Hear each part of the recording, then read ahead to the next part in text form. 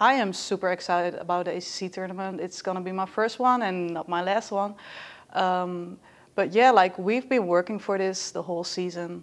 Um, and you know, this is like big time. Big times are coming up right now. Um, this is where they're giving away the prizes. That's how we say it back home. And it's just like, you need to really step up your game right now. It's, it's, it's money time. And that's just special because like you live for these moments. Um, so I'm really excited about the ACC tournament.